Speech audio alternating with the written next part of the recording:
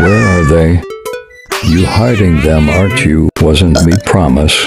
Hey Kyle, oh sorry, I see that you busy. Yes, my favorite treats. Maybe I go join Kyle. Like and subscribe pretty please.